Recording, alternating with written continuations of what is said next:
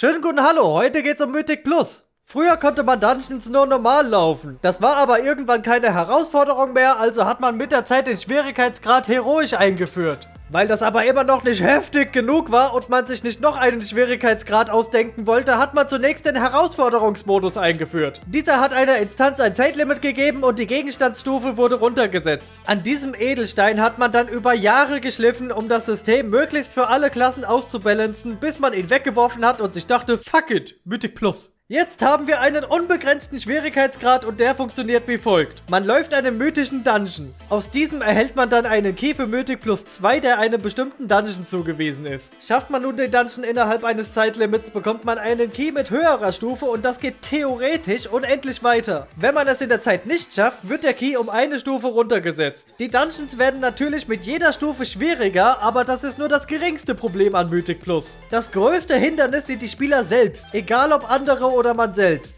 Ach komm, bleiben wir mal realistisch. Es sind immer die anderen. Ich pull völlig sinnlos eine Mobgruppe, an der wir vipen? Tja, vielleicht bin ich einfach eine andere Route gewohnt. Ich mache auch nicht zu wenig Damage, die anderen machen zu viel Damage. Und warum sollte ich eine Frontal dodgen, wenn der Tank einfach die Mobs drehen kann? Ich könnte jetzt noch viele weitere Beispiele nennen, aber mein Punkt sollte ja klar sein. Hört auf, bei euch selbst den Fehler zu suchen und gebt immer anderen die Schuld. Das müsst ihr doch mittlerweile vom Blizzard gelernt haben. Kommen wir zur Frage, warum man Mythic Plus überhaupt läuft. Viele unterliegen dem Irrglauben, dass man aus Mythic Plus gutes Gear bekommt. Aber das ist falsch. Die Wahrscheinlichkeit, direkt aus einer M Plus ein Item zu bekommen, ist etwa so hoch wie die Wahrscheinlichkeit, im Lotto zu gewinnen. Während man vom Blitz getroffen wird. Beim Kacken.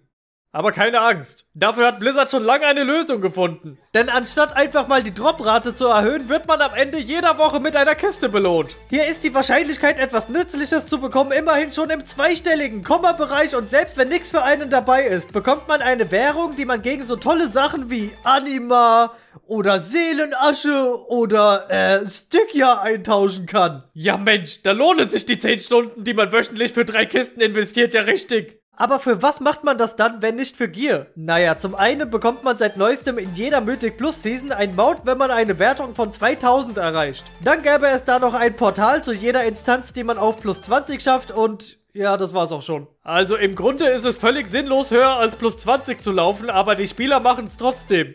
Und warum?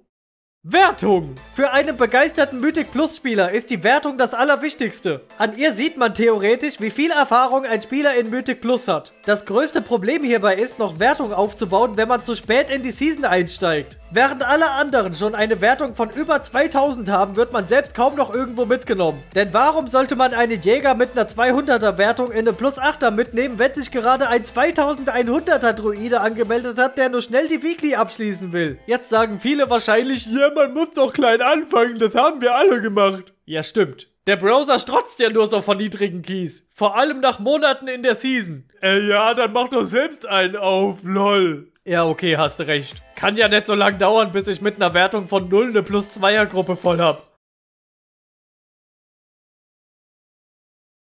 Ich melde mich dann in der Woche wieder. Okay, kommen wir mal zum Punkt. Wenn man keine Gilde oder Freunde hat, ist es verdammt zeitaufwendig, die anderen Spieler mit der Wertung einzuholen. Klingt zwar doof, aber das ist ja nichts Neues in WoW. Das ist in PvP so und das ist auch in Raid so. Wer nicht aktuell ist, hat halt einfach Pech gehabt. Aber lasst den Kopf nicht hängen, falls ihr doch mal zu spät seid, keine Freunde habt und noch was aufholen möchtet. Denn wie gesagt, ist es nur zeitaufwendig und nicht schwer. Mythic Plus ist total einfach. So einfach, dass die meisten eine ideale Gruppenaufstellung anstreben, weil sie Angst haben, dass ein Key nicht in Time wird. Da meldet sich ein Jäger an, der letzte Season eine Wertung von 2300 hatte und aktuell eine GS von 246 besitzt. Aber seine aktuelle Wertung ist nur 1500. You get out. Man muss aber auch zugeben, dass bei der Gruppensuche nicht nur auf Wertung geguckt wird. Jetzt meldet sich zum Beispiel eine Eule mit einer Wertung von 1900 an und wird sofort angenommen, weil Ventier-Druiden momentan eine Abrissbirne sind. Äh, ich bin aber Koreaner. Oh.